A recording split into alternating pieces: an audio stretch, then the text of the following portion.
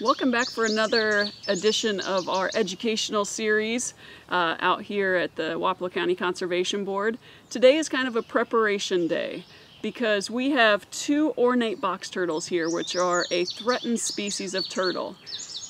To be clear, it's illegal to have any animal out of the wild without the proper permits, but to take a threatened species of turtle is probably a little bit worse. And these two turtles, you will notice, have paint on their back. And that is because these were seized from the illegal wildlife trade. Someone took these turtles out of the wild. They tried to sell them as racing turtles, also as a mating pair. Uh, the problem with that is, one, they're a threatened species. You can't take them out of the wild and sell them. Uh, two, they're actually both females, uh, making them not a very good mating pair.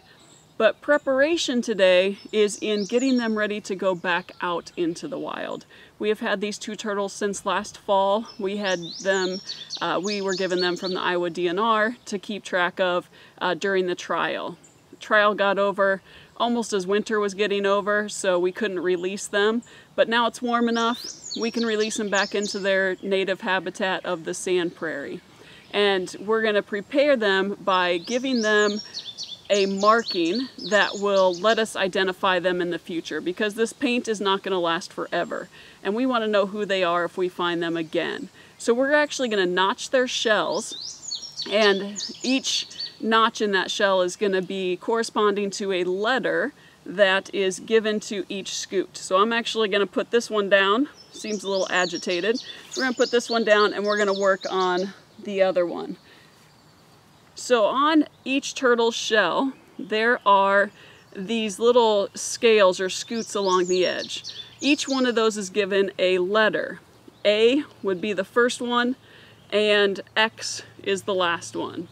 And this one's going to get A, I, and W. We're going to write that down. We're going to make sure that we remember that one. And if we ever find it in the future, we'll know which one it is. We'll know it's one of the uh, illegal wildlife trade turtles that we re released into Eddyville. So to mark them, we actually just use a triangular shaped file. Uh, this will not harm the turtle because this scale is just like your fingernail. So as long as you um, cut it just on the edge, you're not going to have any trouble with them being hurt. It's kind of like clipping your dog's toenails.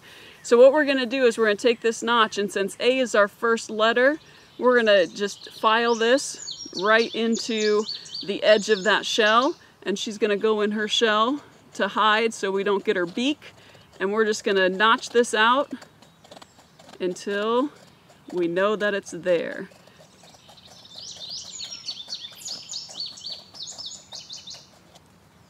So now we've got a nice notch in that shell and we're gonna do the I and the W and once that's done uh, she'll be ready to be released later in the week and we will continue this video at the Eddyville Sand Prairie. Now that we are ready for these turtles to be released, they've been notched, they've been marked and ready to go. These two females are ready. They are in Eddyville at the Sand Prairie and you can kind of see behind me all the spiderwort is in bloom. Seems like the perfect time. These guys are really active. They seem like they're ready to start their new life back in the sand prairie. Uh, the Eddyville Sand Prairie, in case you've never been here, is an area where it's got sandy, well-drained soil, so it's more of a short grass prairie, kind of a rare habitat. You don't see it very often. There's prickly pear cactus here, which a lot of people uh, don't know about. Prickly pear is edible, not only for us, but for these turtles. So lots of bugs, lots of plants they can eat here. Uh, that soil is easy to dig into, so it's easy to dig a nest, uh, to get out of the heat of the day, especially right now. It's gonna be 80 degrees today plus. Good way to get out of the sun and easy for uh, digging their burrows to hibernate all winter long. So we're hoping that now that they've been rescued from the illegal wildlife trade, they've spent a winter uh, inside, that they will still be able to uh, survive out here. They will find mates and they will increase the population of this threatened species of turtle out here. And of course, we hope, since they're marked, that we'll find them again and we'll know that they're doing okay. But what we're gonna do today, since it's such a nice day, is we're gonna release them. We're gonna let them back into their home and we're gonna let them do what turtles do out here, which is hide from us um, and make it very difficult for us to find. But we're gonna let them go and hopefully when you come up here to visit, you will get to see some of these turtles and get to see that great habitat that they get to live in.